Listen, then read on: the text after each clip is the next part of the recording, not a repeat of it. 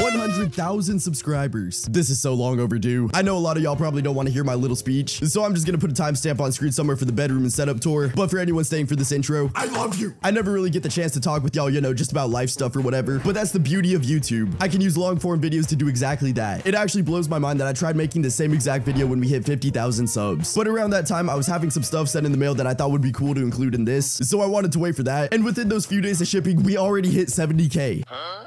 At this point, my mind was just thinking, okay, we're already late. Let's just hold off and do it for 100k. We hit 100k just a few days before Christmas, but now I'm just busy with friends and family for the holidays. And here we are today with 163,000 subscribers. Anyways, the whole point of this intro is to obviously thank you guys. YouTube has been something I've wanted to do literally since the fifth grade. Growth has been insane recently. Obviously, I'm super happy with that because I genuinely do not know what I would do if it wasn't for TikTok or Shorts. I was one of those very few kids at my school who didn't apply to a single college. Now, I'm not saying that was the right choice whatsoever, but I knew exactly what I wanted to do and not to sound cheesy or anything, I genuinely believe anything is possible if you put your mind to it. So thank you guys so much for all the support of what I've done so far. Shout out to my fam, aka my number one supporters. Shout out Controller and Rap TV for letting me make content for y'all for almost a full year now. Can't forget about the Gang Squad. And yeah, sorry for the long intro. I'm not sure how many people this is gonna reach being one of my first long form videos. So if you are one of those people who see this, be sure to drop a like, subscribe to the channel, and turn on the post notifications if you do enjoy this video. I do plan on making more actual videos throughout 2023, so stay tuned for those. Now time for the tour. Ladies and gentlemen, the setup, literally where I record, play games, and edit on a daily basis. This is my repeat mousepad, the glorious Model D, and my keyboard made by the one and only Seabass Boards. Looks beautiful, and Seabass himself is giving away a free custom keyboard to one of you guys. And all you gotta do is comment why you want the keyboard. After exactly seven days of this video being uploaded, I'll go through and pick a completely random comment which will be the winner of their custom keyboard. Moving on, the right monitor is what I use to edit. This is the Innocn M2U, the 60 Hz, a 4K, and HDR 1000. The left one is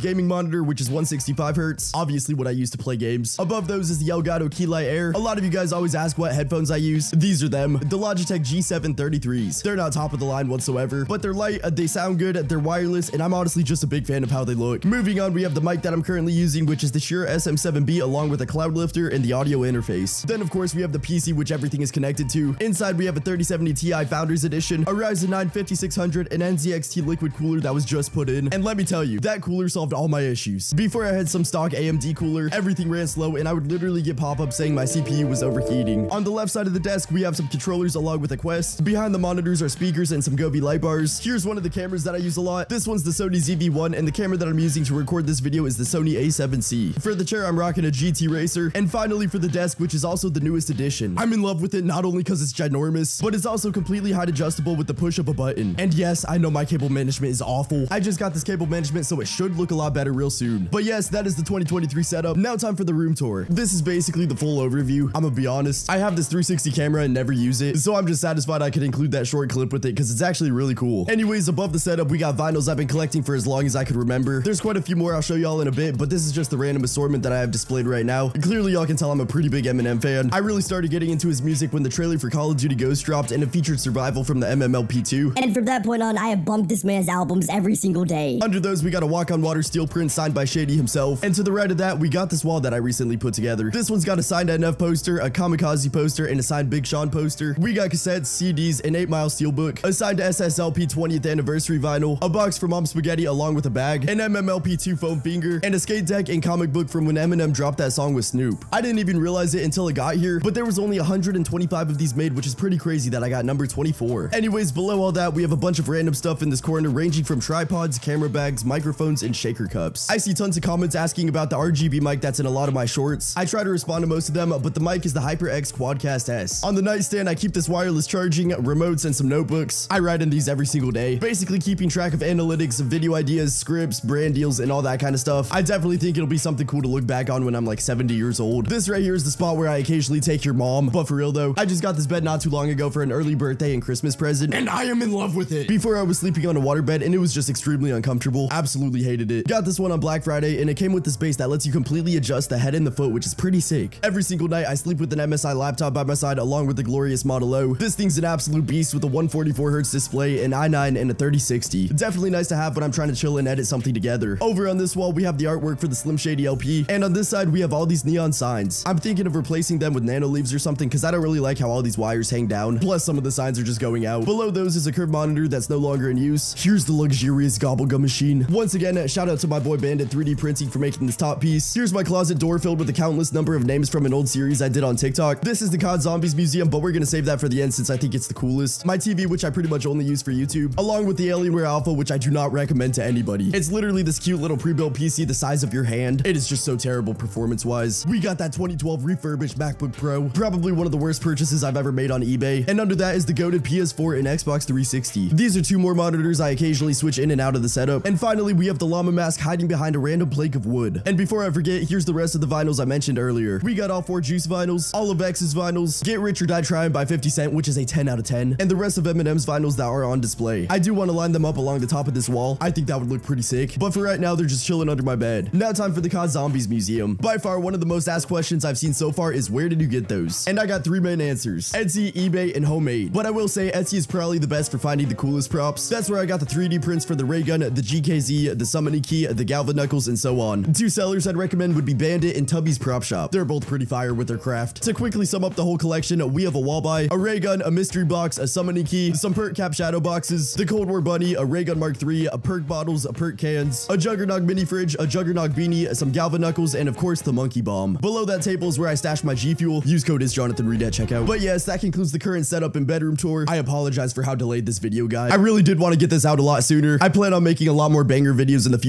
So if you did enjoy this, don't forget to drop a like, subscribe to the channel, and turn on the post notifications. And once again, thank you guys so much for 160,000 subscribers. That is a ridiculous number. But yeah, that's pretty much all I got for right now. I'll talk to y'all in the next one. Peace out, boys.